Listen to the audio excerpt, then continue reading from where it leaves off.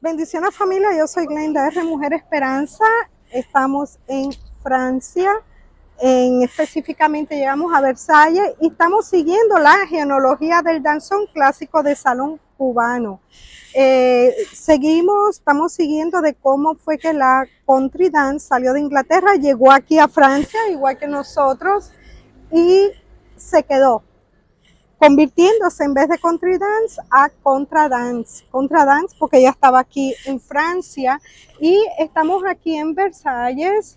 Eh, ahora mismo estamos nosotros aquí, enfoca un poquito Gaby, y vamos a ir caminando por todos estos jardines hasta ir aquí al Palacio de Versalles, también vamos a, a ir al Palacio de María Antonieta, vamos a pasar por la Plaza de, Marte y vamos a pasar también por Notre Dame.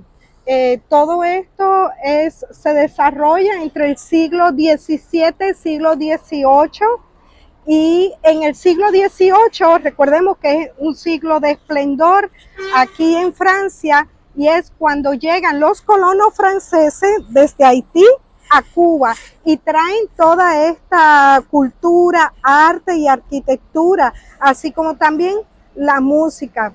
Gracias a eh, Francia y a todo el arte es que también el danzón se enriquece, Cuba se enriquece por los franceses, aunque no se menciona mucho en la historia.